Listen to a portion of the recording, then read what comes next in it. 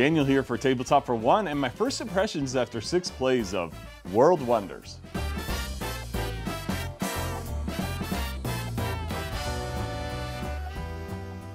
And I thank you for joining me tonight. Now, World Wonders is a game designed by Ze Mendes, and it's the latest offering from Arcane Wonders, or one of the latest offerings. And uh, they have provided me with this review copy of the game, so do take that into consideration when you listen to my review here. Now, World Wonders is a city building game where you're building out the city with roads and towers and buildings and other things as you're trying to build out these great world wonders.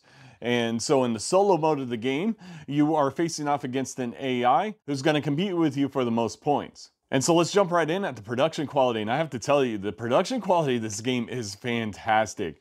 Look at these world wonders. Check these out. These are big wooden pieces of world wonders. They are all different designs. There's like, I don't know, 30 of them, 32 or something like that. There's a ton of them. They're all wooden pieces. Some of them are multiple pieces, like the pyramids here. There's just so many of them. It's just fantastic to look at and fantastic to see on the table. The tiles for the game, I do wish were just slightly thicker, but that's a small gripe. The, rest of it is really well done, well produced. The cards are well done. Also, the iconography of the game is great. It's easy to read, easy to understand. Yeah, there's a lot of really good things I'd like to say about this production quality. It's just a fantastic production. And so let's talk about the gameplay. Now in the gameplay of World Wonders, you're going to be taking turns with the AI. The AI goes first, you'll flip over a card, do the first action for the AI, and then you'll go to your turn. And so on your turn, you're gonna be spending money on a market. There's a market of tiles, there are building tiles, there's some road tiles, there's towers, and you're gonna decide whether to buy one of those things and put it into your city. There's also World Wonders, which I will talk about in just a minute. But as you're building things out, there's some really interesting design decisions here. See, there's a lot of different rules regarding roads and buildings and how they work along with the towers. And so roads can be built on your player board from the bottom up. There's a sidewalk, so roads have to be adjacent next to a sidewalk or next to another road or next to a tower. And so as you're building things out, you're gonna have a, a network of roads and towers and other things like that. And then you have the buildings, which the buildings can only be built either next to a road or next to another building of the same color. And then you have towers, which can be built next to anything that you have previously built. Now, the reason why you build out towers is towers allow you to build roads in areas that are otherwise inaccessible or just less accessible. And so as you build them out, you're going to be able to build roads adjacent to them and thus extend your city out further and build buildings next to those roads. And so with building out buildings and monuments, you're going to be moving up your resource tracks and your population track. As you move up your resource tracks, it'll increase your population and as you move up your population track, it's going to give you more points. And so, yeah, there's a lot of really good decisions with that. Now each of the tiles costs a number of gold. You get seven gold a round to spend. So you're gonna spend money on a tile, build out that tile, then uh, it'll go back to the AI's turn and then the AI does its turn and goes back to your turn until you're out of money. And the game will end after 10 rounds or after the population marker gets that final spot on the track. Now, one of the ways you run out of money is if you buy a World Wonder. So you can buy a World Wonder at any point if you can fulfill its building requirement, you just need to spend at least one gold, but you have to spend all of the remaining money you have for that round. And so this game has some really interesting decisions where you're trying to decide, do I buy the wonder that I want now? Because you only see two at a time. So do I buy it now or do I buy something else and wait till I have less money and then buy the wonder to end my round? But then you have to worry about the AI. Is the AI going to take that wonder? Because one of the actions on the AI's card is to take wonders off the board.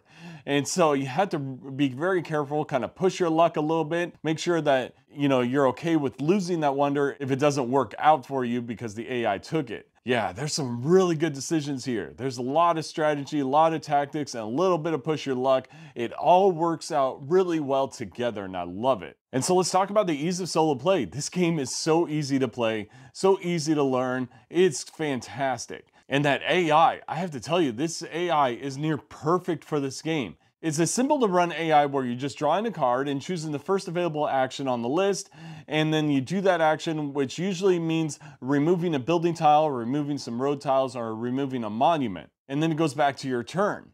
But the really interesting thing about the AI is how it scores. See, the way the AI scores on the easy mode is it gets the points from your resource tracks. You add up all three of your resource tracks, and that's how many points the AI gets. But on the hard mode, the AI is also going to score for the monuments it removes. So it'll get points for each of those. And so there's some really interesting decisions as you're trying to decide, you know, how far you're going to advance your resource tracks. And then you're trying to make sure that the AI doesn't get too many monuments. And I have to tell you, it works so well. I, it's amazing how this AI works. It's just a fantastic design. I'm blown away by not only the AI's design, but also by the design of the game. I'll talk about that a little bit later. But let's talk about the replayability of the game. The replayability of this game is huge. The game is never going to play out the same way. The monuments that come out of the deck are going to be different every time you play because you just don't know how the deck's going to shuffle, so you don't know which monuments you're going to see. Uh, the tiles come out differently every time you play. There's two sides to the player board, and each player board is different on how the river is set up or where the natural resources are, so that changes how you build things out. Yeah, there's a lot of replayability to this game uh, with the fact that there is an AI that is difficult to beat and easy to run. There's just a lot going on for this game. And so let's go straight into my recommendation. Do I recommend this game? I don't know. No, I'm just kidding. Yeah, of course I recommend this game. This game is fantastic. This game is a, an amazing game. It really is. And it has everything to do with how well designed this game is. It's one of those games that I would almost call a masterpiece of design. Because of the way it works, the way you're choosing when to buy tiles, when to spend tile, your money on a monument, you know, and canceling out your turn. When you're deciding to do those things as opposed to the AI, you know, thinking about what the AI might possibly take from the board and trying to buy things so that the AI takes from the tiles rather than from the monuments. There's so much going on. There's so many decisions to make. There's a lot of strategy here. There's a little bit of luck, but it works out so well. It's just a fantastic design.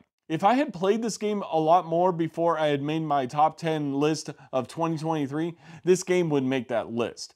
I'm not sure where it would be on that list, but it would definitely have made that list. So this game is one of the best games to be released last year. That is my opinion of it.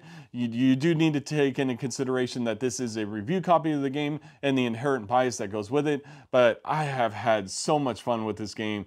It's just that good. And so there you have it. That was my first impressions after six plays of World Wonders by Ze Mendes and Arcane Wonders. You'll have to let me know in the comments below what you thought of this review and what you think of the game. Please also like and subscribe to this channel if you like the content you see here. And I thank you very much to my Patreons who support me on this channel. And I thank you very much for watching me on Tabletop for One. Have a great night.